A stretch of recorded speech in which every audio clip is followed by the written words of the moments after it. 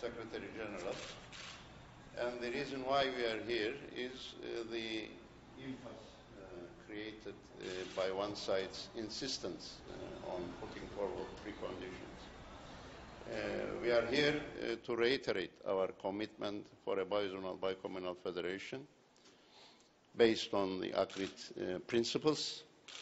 And uh, we are here with the hope uh, and with the expectation that uh, we, we can open the way uh, for Geneva to reconvene uh, the conference which started in um, January this year.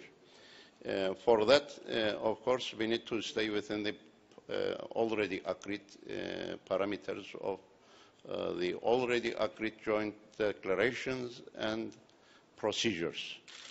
Uh, what we need uh, from now on is political will and determination more, more than ever and more than time. It's, that is the uh, real requirement.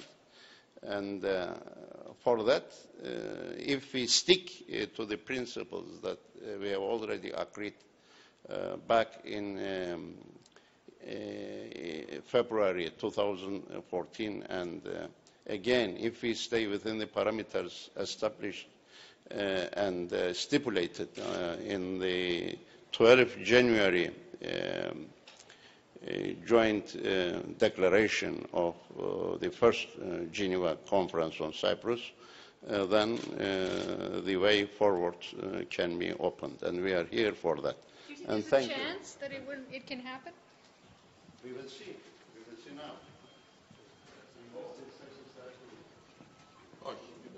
quantas sessões a gente disponia?